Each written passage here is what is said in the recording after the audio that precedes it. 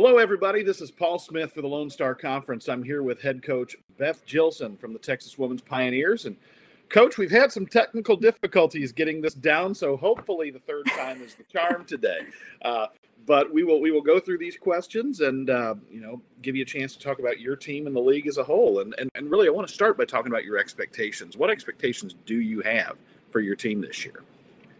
Yeah, I just think this is a different year, obviously unprecedented times, and um, I just think it's really, really important that um, we stay connected throughout this time, that we value each day, you know, and and that um, I've been real impressed with our our veterans. You know, we were pretty young last year, and I think it's um, really important that um, they step up. And you know, you never know who might be out each day. And, and so far, I've been real impressed with the leadership and um, expectation is just to to control have that discipline to do that and to, and then to continue to get better each and every day. Um, what changes improvements have you made as a team this off season i think the biggest improvement is our ability to space the ball knock down those open shots. Our players have been um, spending a ton of time in the gym and i think just with covid that came naturally having to stay um, so many feet apart. And so um, really just um, our scores mentality. And I feel like we have some green light shooters that are going to, um, you know, be ready to light it up in KMA this year.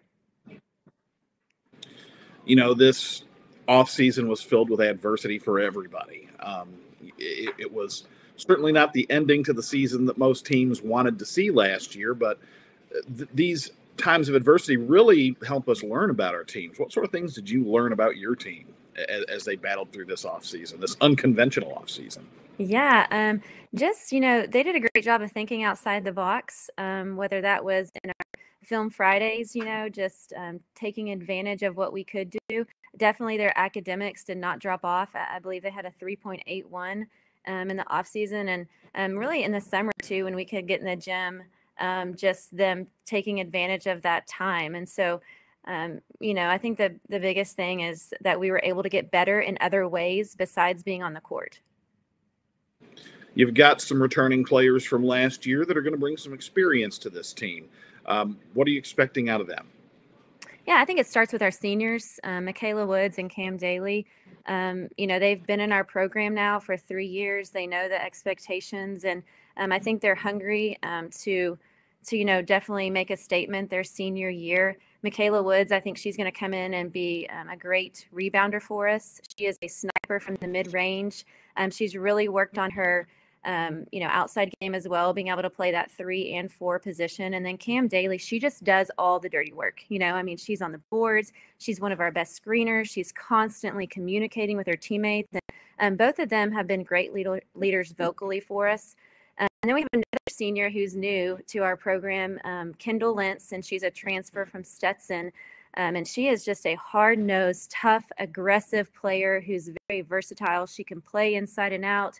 Um, and, you know, she's just come in and um, in with our team well and really stepped up as a leader, too. Obviously, Kendall, a very talented newcomer, but you've got some consistency coming back at the guard position as well definitely Sadie Moyer, who's going to be a sophomore for us. And I really think the biggest year growth um, comes between your freshman and your sophomore year.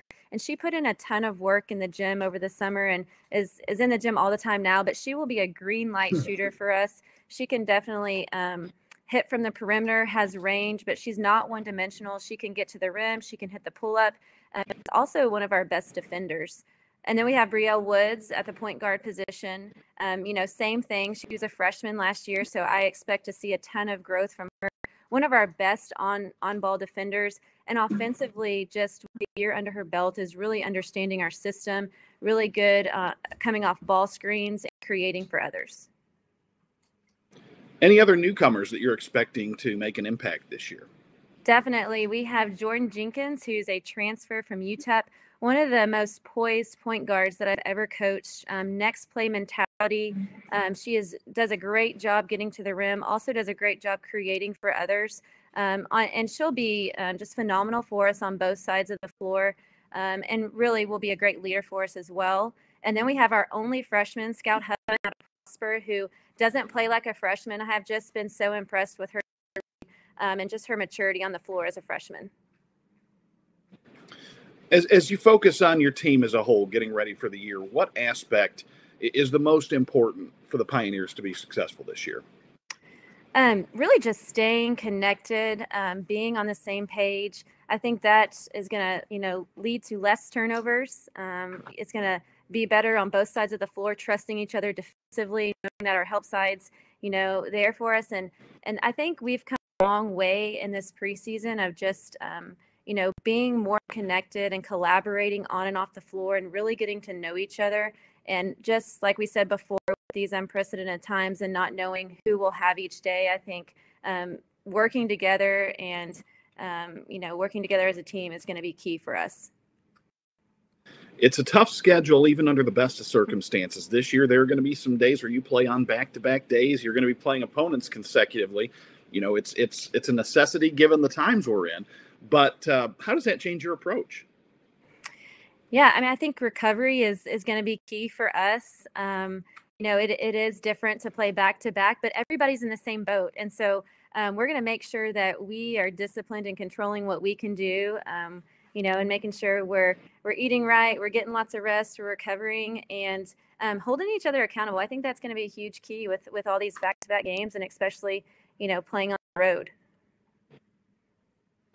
Obviously, success on the court is a big thing, but that that's not the whole equation here. Part part of the balance is what they do academically, what they do off the court.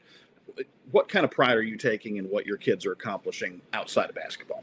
Um, I have incredible pride in who our young ladies are. They are great ambassadors for our university, whether it's them volunteering their time in the community or their commitment to academic excellence. I think um, last year we had a 3.6 team GPA, um, just with a lot of adversity. They are um, extremely um, you know, competitive young ladies in every area. And I'm just so proud of the young women that they are. Well, thank you, Coach Jillson, for joining us. Wish you the best of luck this season. Thanks so much.